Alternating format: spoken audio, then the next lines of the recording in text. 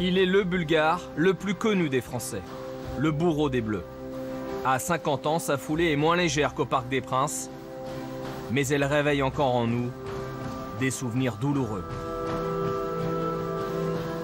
France-Bulgarie, le 17 novembre 93. Un coup de grâce à la dernière minute. Émile Kostadinov élimine les Bleus pour le mondial américain et envoie la Bulgarie à la Coupe du Monde. Nous lui avons montré son but, filmé de la tribune bulgare. Je ne l'avais jamais vu sous cet angle.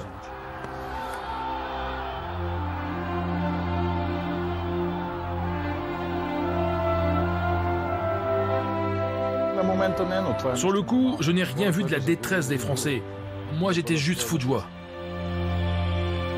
Marquer un but comme ça, c'est le summum pour un attaquant.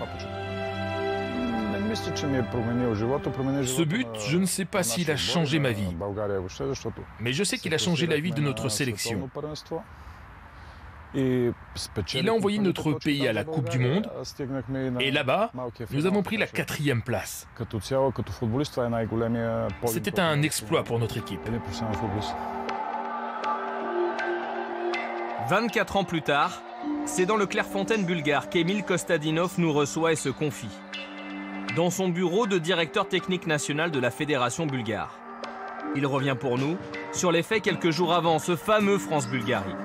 Pour un problème de visa, est-il entré illégalement sur notre territoire et aurait-il pu ne pas le jouer? Oui, oui, en fait, euh, nous étions en Allemagne et nous sommes passés en France en voiture sans visa. On est arrivé à Mulhouse et finalement, on a pris l'avion à l'aéroport de Bâle-Mulhouse pour atterrir à Orly. J'étais sans visa, je l'ai eu seulement à Orly après une heure d'attente. À l'époque, je jouais au Portugal, à Porto.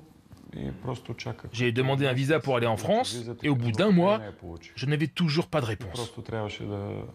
J'ai donc voyagé sans, j'ai pris un risque, mais à Orly, les autorités françaises n'avaient aucune raison de me le refuser.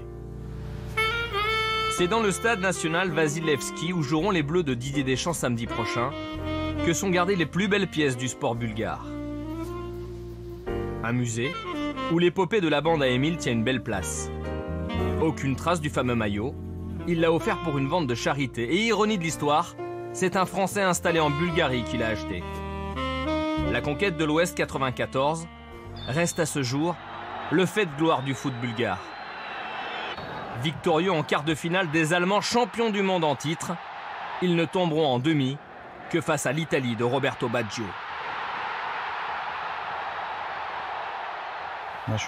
Notre équipe à cette époque était une vraie famille. C'est ça le secret de notre réussite.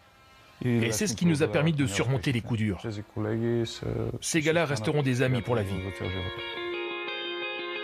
De 94 à aujourd'hui, le football bulgare peine à exister. L'héritage est lourd à porter.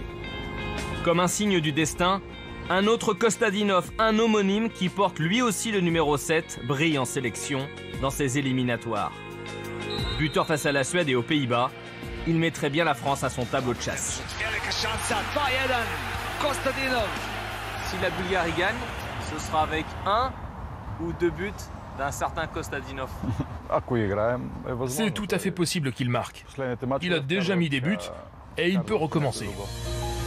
L'histoire peut-elle se répéter? Si c'était le cas, au parc, on aurait vu une tragédie. À Sofia, ce serait une comédie.